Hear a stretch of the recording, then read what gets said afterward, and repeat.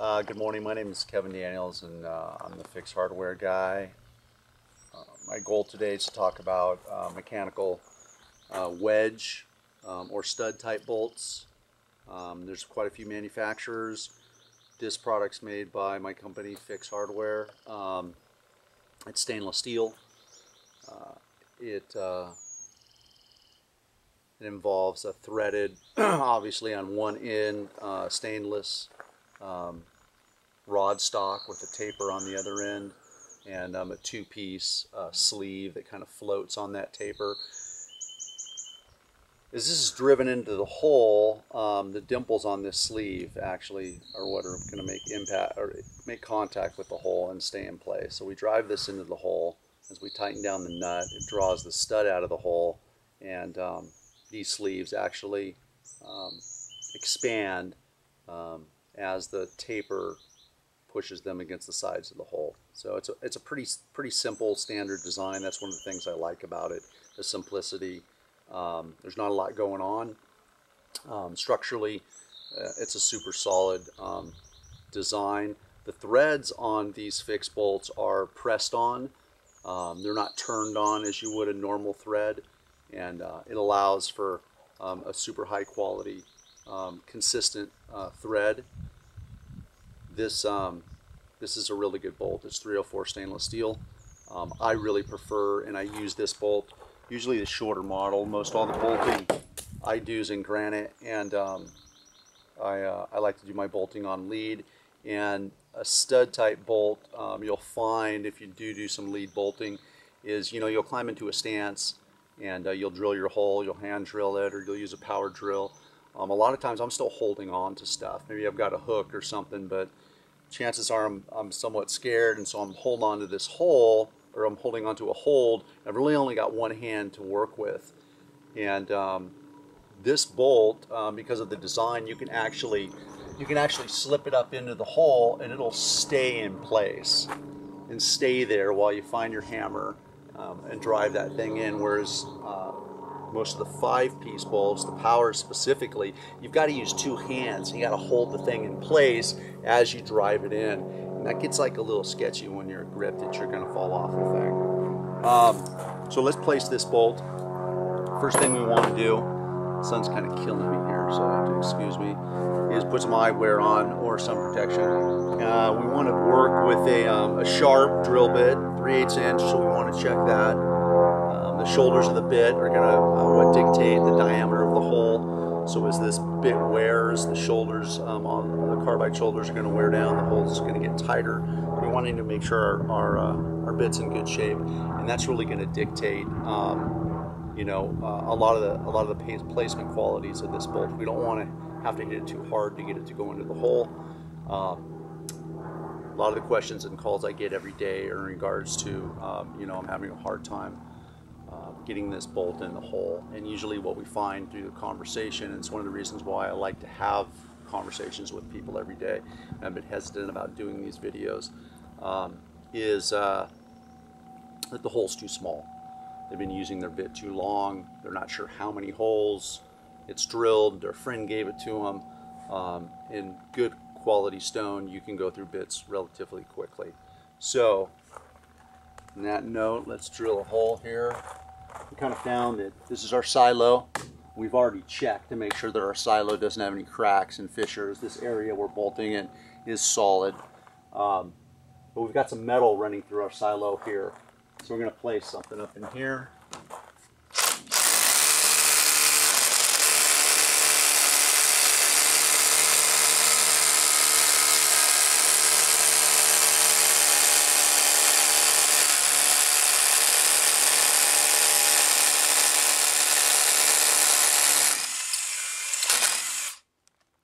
these stud bolts,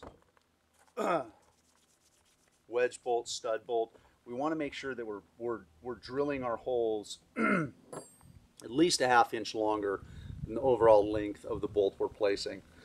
Because once we put this thing in the hole, it's not going to come out.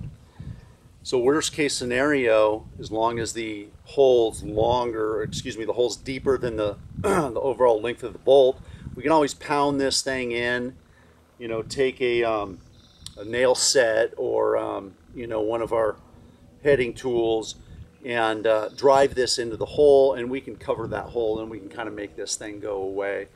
Um, that's the one downside of this bolt is that um, it's not ever coming out of the hole. So uh, drill your holes, uh, as I said, deeper than the length of, uh, of the bolt. Go ahead and assemble this unit. We got a 3 8 inch diameter bolt. We got a hanger with a 3 8 inch hole in it. We got a stainless steel bolt. We got a stainless steel hanger. Don't mix the metals. Plated steel with plated steel, stainless steel with stainless steel. Again, with this stud, it's really important that when we're driving this in, we're only making contact with the end of this stud. We don't want to hit the nut. So what I normally do is tighten the nut down quite a bit. Make sure I'm just hitting the end of the stud. Drive it in all the way. Get my hanger orientated and then back the nut out or off a little bit. Drive it in a little bit more, but be careful that you're not hitting the nut. If you hit the, hit the nut, you can compromise and weaken threads damage the threads, and then um, some of our uh, our strength strengths are going to change.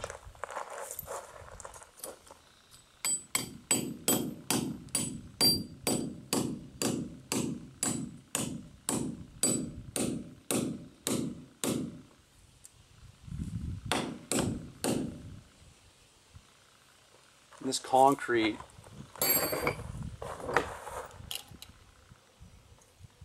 These are old silos. They used a lot of rock when they poured this concrete. So it's real hard, but it's not as consistent as most uh, granite's going to be. But that said, sandstone, limestone, um, you're going to get some inconsistency. So it's actually a pretty um, realistic um, alternative to bolting and drilling holes in some of the rocks around here, which I didn't want to do. Um, orientate your hanger, you know,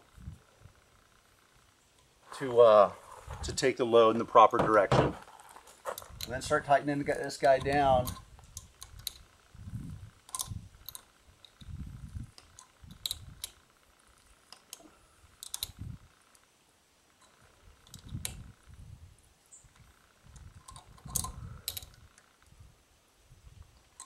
Again,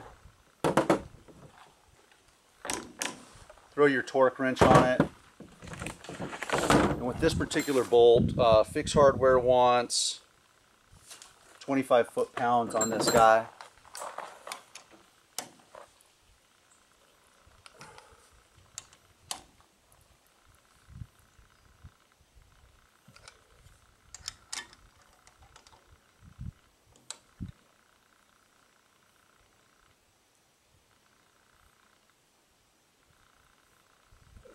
All right. So there you have it. We've checked the, the area that we're bolting in. It's solid, no cracks, no fissures. Um, we've uh, drilled our hole 3 8 inch diameter. We checked our bit. Um, we cleaned the hole out well. Um, we drove the bolt in.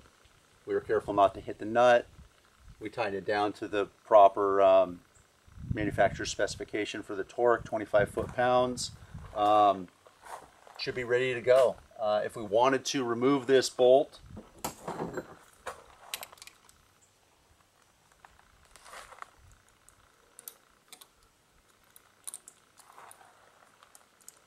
one of the nice things about these studs, it's pretty easy to remove this nut and washer. We could turn it into an anchor if we wanted to.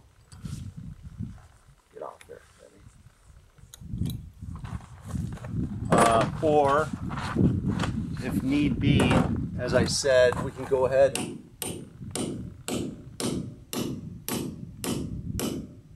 drive this in and using a, uh, a punch or a nail set or a tool for our copper heading or in this case this SDS bit. We can drive this in We needed to, we could take a little bit of epoxy or something, clean this or cover this hole, you know, use a little bit of sand in it and make this thing go away.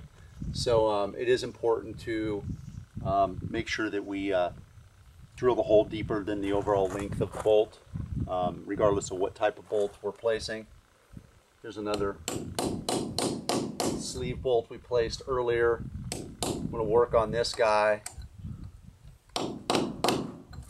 Get that guy pounded in.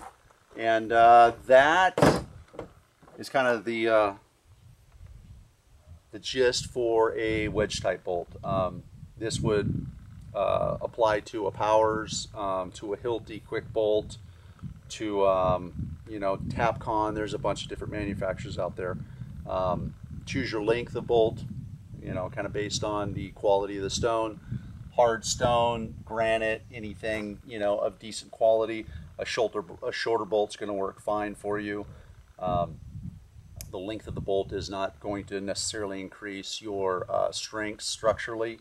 Um, pounding more metal into the hole is not going to increase your tensile or your pull-out strength. Um, if you're dealing with, with quality stones, if you're dealing with softer stones, um, you are going to want to go to a longer bolt, maybe something um, with multiple expansion sleeves. Thought I had one here.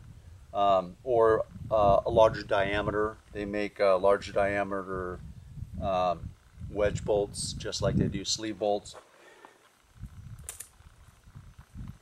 this fixed product has two expansion sleeves on it, and this was designed specifically for um, lime, limestone, sandstone applications, pocketed rock. Um, this this old silo here, um, with as much pocketing and pitting uh, as it has, would probably be um, a good applicant for this type of a bolt. Either way, um, thanks for your time. Have a good day.